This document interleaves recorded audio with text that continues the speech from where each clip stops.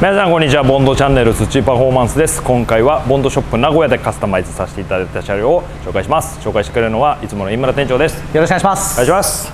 今回紹介する車がこちら。はいフェラーリ GTC4 ルッソはい。12のやつですね。12キロです。はい、こちらなんですけれども、はい。今回は先に言っておきます。長くなります。長くなります。長くなります、はい。そしていつも以上に雑談です、はい、そうですね。あのー今回はね。何言ってるんだっていうところも多いと思うんですけれども、はい。はい生温かい目で見守っていただけると幸いです、はい。そして今回あの先に言っておきます、はい。あの賛否あります。はい。絶対にあります。絶対あります、はい。ただそれもあのーこれ皆さんのん。想像力が試される回だと思うんです、はい。あの全部はちょっと公開できないんで、はい。いろんなのを想像していただいて、はい。あもしかするとこういうことなのかなと。はい。ちょっとこう自分なりに消化していただければ、はい。あこれちょっとやばいんじゃないのっていうふうに思っていた。だけ背る景がね。そうですね。はい。そんな車を今回ご紹介させていただきます、はい。でまず一番肝心のそのはい。オーナー様の部分なんですけれども、はい。今回は NG なんですよ。うっかり言っちゃいそうだけどね、はい。基本的にははい、NG はい、ただあの誰でも知ってる方。誰でも知ってますね。はい。おそらく年齢層問わず誰でも知ってますよ。そうね結構なんかあお父さんファンだったんだよねみたいなえそれは OK なんですか OK でしょ、うん、まあちょっとだ誰か一人を返せば、はい。ああーっていう、はい。そのぐらい、あのー有名な方、やばいっす。はい、はい。でその方っていうのは飯間さんどういうこうなんですか流れでこうあえっ、とご紹介をいただきまして、はい。それでまあ連絡を取るようになってで打ち合わせを会いに行って打ち合わせしてで決めてみたいなるほど。で今回できるはい。でこのカスタムのことの始まり僕視点でお話しさせていただくと、はい。今年の2月なんですよね、だったかな？はい、はい、飯村さんから急にこの同じ色のあーはいはい。はい GTC4 ルストのシャコタンになってて、うん。まあ、ホイール履いてる、うん。こうフォトショップでもう加工した画像が LINE で送られてきまして、はいこのホイールを色を変えてくれと、まあまあまあ色を変えるの大変ですよねって言うんで、はい。まあ、僕らもメディア班なんで、はい。まあ、フォトショップとかも使うんで、はい。まあ、ホイール変えました、はい。あんな感じですこんな感じです、やってあれこれどうしたんですかっていう話をしたら、ん。まあちょっとそのオーナー様の話になりの、はい。えマジですか、はい。とはい。はい。でこの組み合わせ、うん。どっから来てるんですかって言ったら、まさかのオーナー様のこの提案もそう。そのまあまずは最初ホイール履きたいんです。でブランドは HRE が履きたいんです。あそこもでそこまではそう指定だったんですか？指定だったの。でそういうまあこう初めてお話をする中ってはい。どういうものを提案したらこうはい。好まれるかなみたいな、まあ要は僕ら側としても探り探りなわけじゃん、でその中で HRE 履きたいんです。かつこれがいいんですって言われたモデルがやばかったのよ。もうすでに。いやいやこの人やべえなみたいな。そのセンスがね飛び抜けちゃってて。っていう話でじゃああ実は僕こういうのも作らさせてもらってるこういうのも作らさせてもらってるんです。っていうたまたま僕もやってたからそれを画像として送ったらいやめちゃめちゃ意見が合いますね。って話でこう進んでた。なるほど。じゃあオーナー様の意見も今回はだいぶ入っていやーかなり。い。つもは飯村さんがこう好き勝手。いやー今回はちょっとコテンパンにやられた感じなるほど、うん。そんな車になってはい。でまず外装に関しては、はい。本当に何にも触ってない感じなんですです。触ってないです。ただオプションパーツがそうもともとねカーボンの純正パーツが。フロントサイドリアで入ったりとか、はい。あと色としてはルッソではそんなにめちゃくちゃ珍しいわけじゃないですけどフェラーリとしては割と割とそうねそうね。紺色のはい。こちらですけれども、はい。今回のカスタムポイントが、はい。いいですか？どうぞ。いっちゃってください。こちらになります、はい。これあのまずとりあえずフロントだけに やってまいりました、はい。HRE のはい。はい。935、935これ一番最初に送られてきた写真がこれでしたっけ？これじゃなかったかな。だったかな。まあ 935M ね、はい。モノブロック。モノブロックのはいやつですね、はい。あまず割と新しいモデル。はい。はい。これをフロントに持ってきますかっていうところなんですけど、はい。これ実は最初ブロンズっていう話もあったんですよね。ブロンズって話もあった、うん、でまあブロンズもあったし黒もあったしまあ今回の最終着地としてサテンチャコール。はい。ここに着地したと、はい。これを持ってきますか、持ってきましたまあ、なんとなくもう一周回って今さんのお客様のお客様のとこでもうはいすごいカスタマイズ慣れてて、はい。もう人と被るの嫌なんだと。はい。ちょっと変わり種に行きたいんだっていうんでここを来るならまだわかる。んですよ、はい。はい。それがはないんかこう最初のこの提案でうん。出てこないホイールだと思うんですよまず。そう。まあここに関しては正直僕発信でフロントはワンピースっていうのを決めた感じ最初。になるほど。まあそのタイミング的に 935M っていうモデルが新しく出ましたよっていうタイミングでもあったし、えーまあフロントワンピースがまあまあいいんじゃないかなっていう部分もあって、えーまずこちらです。これめっちゃクラシックっすね。そうめちゃめちゃクラシック。そして色合いがまた絶妙。そうただあのフォトショップでこううん。いろいろホイールを履かせて、はい。最終的にこれになりなるかもで確かもんうんうんわったん。ですね、僕とのやり取りを、はい。イメージ通り、はい。そうイメージ通り。もうまんま。でさすがに僕らもこういろいろシミュレーションするじゃないですか。車高を下げて、はい。これこのぐらいはい。で色味どうだろうと。かリムがあったらどうだろう、うん。本当にイメージ通りね。そのまんま。いろいろやりましたよね。リムだけ交換してとかディスク変えてとか。そしてこれに着地したと、はい。これ色合いがもうや,、はい。やっぱり HRE このザラザラ感というか。そう絶妙に半ツヤ具合がね。これフィニッシュ的には何になる？サテンチャコールです。のペイントなんですか？そうです。リキッドペイント。本当に半分だけ艶がある感じ？そうね。そしてワンピースなんで、はい。まあ、全部一体成形の、はい。ものになる。でセンターディスクがこう立ち上がってるような。あなるほど。ここが手前にね。こう引っ込んでんじゃなくてこのリムと同じぐらいの高さですそう。ねそう。までこのディスクが出てるタイプじゃあちょっとエアロディスクっぽくそうそうそうそうこれでもフェラーリに履かせるってまずこれはないと思うんですよ。なかなかないよね。ないっすよね。最近クラシックのこうリバイバルな感じが出てきてい。ろんはない車に履いてるケースはい。増えてきましたけど、はい。フェラーリってあんまりないんじゃないな。かなかね。そうね。確かに。であとこのホイール自体もすごくってこれディスクなんで、うん。ちょっと重たいイメージなんですよ、うんうんうん裏側すごいんですよ。そうちゃんとスポークがここスポークがちゃんと全部裏側もスポークになってるんですよ、うん。うん。ここのディスクめっちゃ薄い。薄い。本当にこの外側で1センチ、ん。厚みで言ったら5ミリぐらいしかないんですよ、うんうんうんでちゃんとディスクになってる。はい。だからもうすごく軽量にこのデザインなのにはい。作られてると、はい。で今回サイズは2553021、はい。ミシュランが。はい。ミシュランです。これミシュランかっこいいですね。そうね。やっぱりこの感じがいいかな。まさかこれはアメリカ生産のやつってことですか？いやこれはねフランスじゃないか今なんかロゴが変わったのかなまた。なるほど、うん。結構このサイドボールのデザインもそうそう。重要結構重要。重要。こちらはフラッグがあるのかっこいいよね。フラッグがこれも映るかな、映るかな？はい。こうラインがちょうどホワイトリボンならぬブラックリボンみたいな感じで入っててうんうん。うんうん。これかっこいいっすよね。かっこいいね。でこのサイドボールの寝方もタイヤによって違うんで、はい。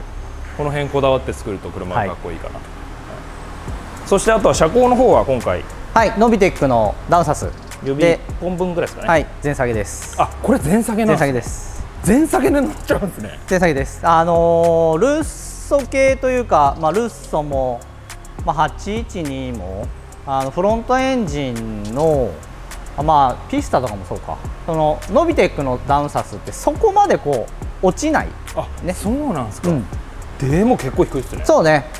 こんな感じになってる。でフロントでも驚きじゃないですか。はい。もうまあえこれ持ってきちゃうんですよ結構変わり種ですね。はいはい。はいはいはいでね。リアをご覧ください。はい。これを履きますか、はい。履きますかって言っても僕あのオーナー様のあの正体というか、はい。あの知ってるんで、はい。すごいところをす持ってきたっごいとのころ持ってきたね。あの一歩間違えたら車検に行く車っすよ わかります？はいはい。特にリムがあるからい。余計こう後ろは結構車外感あるし、はい。フロントはこう言ったらこう違う車のワンピース純正ホイール。はい。まあそんな感じでもないんですけど、うんうん。このぐらいのなんていうんですかインパクトの違いというか、うんうん。でリアにこれを持ってくる、はい。これが思いついてもやらないですよね。なかなかねだからあん,、まあ、あんだけ作った理由はここだわけで、まあ、リアは今回935の 3P はい。でセンターディスクは同じサテンチャコール。でアウターリムはポリッシュっていうところなんですけどまずコンセプトとしては、はい。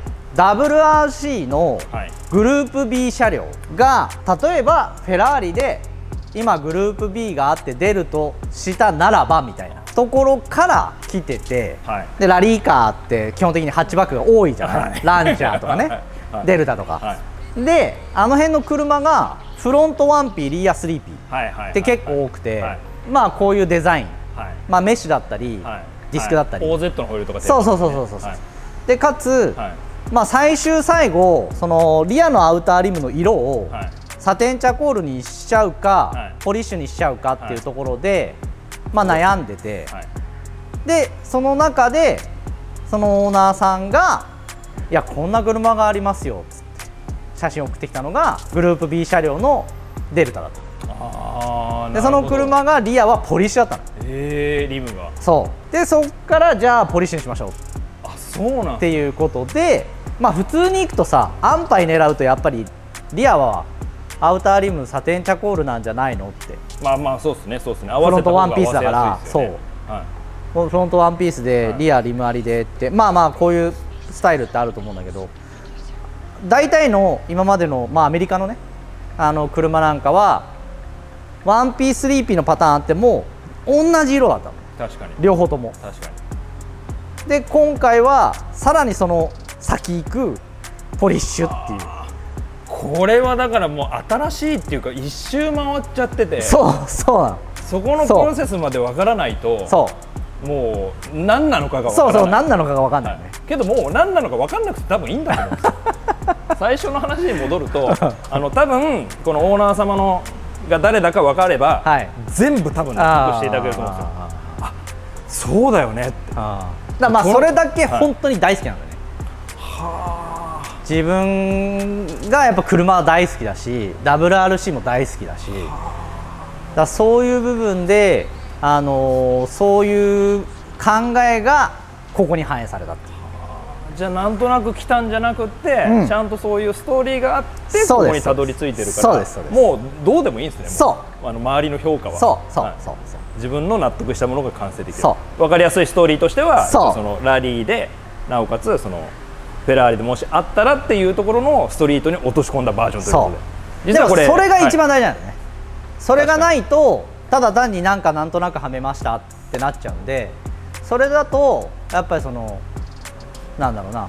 あの信頼性が低いというか納得いく部分がないというか。確かに確かに確かに。やっぱそれは絶対的な条件として必要なんじゃないかな。実はこれメッシュって話もあったんですよね。あった、うん。あの以前作らせていただいたうん。SVJ のはい緑のみたいな、はい。フロントが935で、はい。ギアがメッシュで、はい。で今回はこの両方。そう同じデザインですけども 1P3P で同じデザインって言ってももう全然表情が違全う然違うのね。当然このポリッシュのリムに目が行きがちですけど、はい。ディスクももっとフラットになるし、はい。でより大きく見えるという。そうね。はい。普通ワンピースの方が大きく見えますけうんども、うん基本的にあのデザインの関係でフロントもリムがこうバチンってリムというかフランジの部分がしっかりあるデザインなんで、ちゃんと大きく見える、うん。そして後ろもこの薄さですよそしてセンターキャップフェラーリはい、今回は純正センターキャップアダプターを使ってえ、えー、とフェラーリキャップをつけてます。なるほど。これアダプターなんですね。そう HRE は唯一フェラーリだけは純正キャップができて他のメーカーはできない。あそうなんですそう。でこの935だと HRE のこのロゴもしっかりこう大きめに入るんで、はい。うん。ここを純正キャップにしちゃっても、うん。ちゃんとこう存在感がある。そうそうそう。はい、こんな感じ見た目的にも非常に良いかと。そして出面もはい。バッチリにはい。仕上がってる。もちろんです。そしてリアに関してはサイズは1インチアップですよね。はい22ですね。3352522こちらが装着されてます。はい。だから確かにそこのプロセスを聞くとラリーフェラーリありえないですけど、うん。なんかこう知ってる人が見れば、うん。もしかしてそこ狙ったのかなってうん。ワンチャンこそう。う気が付く可能性があるかもしれないし。だそこがすごくいいかな。だこれはルストだからやっぱ成立するかな。逆にこれでなんだろう。F8 とか例えばねあの812とか。確かに確かに確かに。だとまた違ってきちゃうし。確かに。あとはその目立ったこと変わったこと変わり種。まあ世間一般で言えば変わり種じゃないですか、うん。けど、ちゃんとホイールっていうところだけにおいてそれをやってるんで、うん。例えばこれでエアロこうボカーンってつけましたとか変わった色にしましたっていうと、うん。また多分車のイメージ変わっちゃうと思うんですよ、うんだから一見もうタイヤホイールを覗いたら もうめちゃくちゃなんかこうはいはいはいはい。品のいいというか、内装もめちゃかっこいいんですよね。めちゃくちゃかっこいい、は内装も。のフェラーリなのにあれなんでこの足元っていう、うん。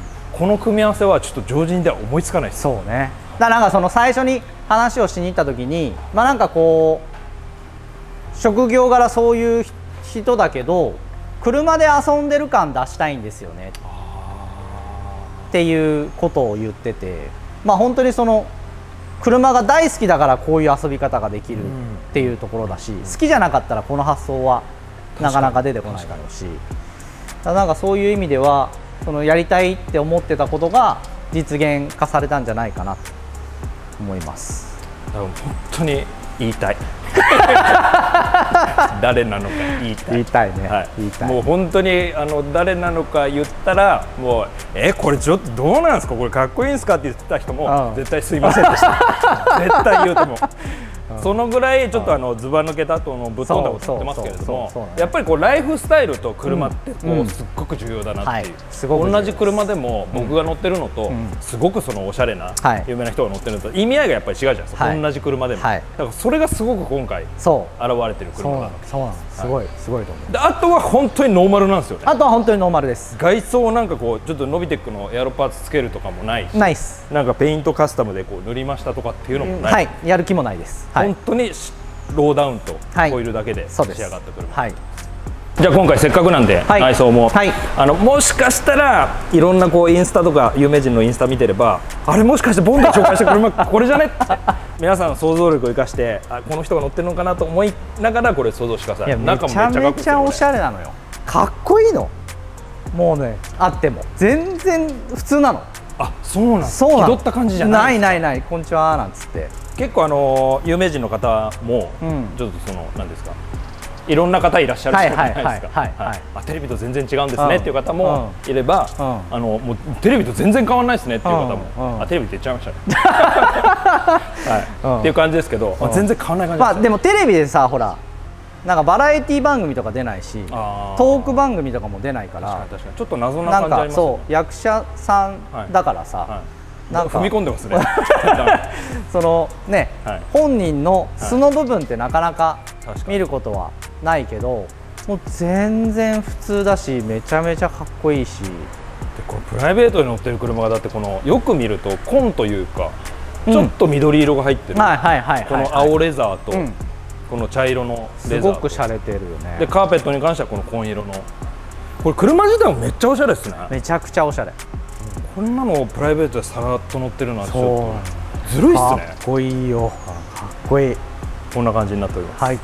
じゃあ最後になりますけども、はい。まあ、こんないろんな個性的なカスタマイズ、はい。あとはもうなんかその趣味だったりとやっぱりオーナー様とお話しさせていただくのってすごい重要だなと思いました、そうね。そうね。やっぱりそのその方がむもう僕昔から言ってるけどその方がその車から降りてきた時に感じる雰囲気っていうのはすごく大事だと思うんで。やっぱりこうこれくださいって言われてこう販売するっていうのも一つそのショップとしての形だと思うんですけどやっぱりそのオーナー様とお話しさせていただいてあんなのがいいんじゃないかこんなのがいいうん。時にはこのオーナー様の提案もうん。こう否定することもあるじゃないですか、はい。いやそれはやめといた方がいいですよ、うん。うん。だからやっぱりそこはなんかこうコーディネーターというか、はい。まあ、一応プロとしてうん。こうかっこいい車を作るっていうそうん。の会社のもうスローガンになってますよね。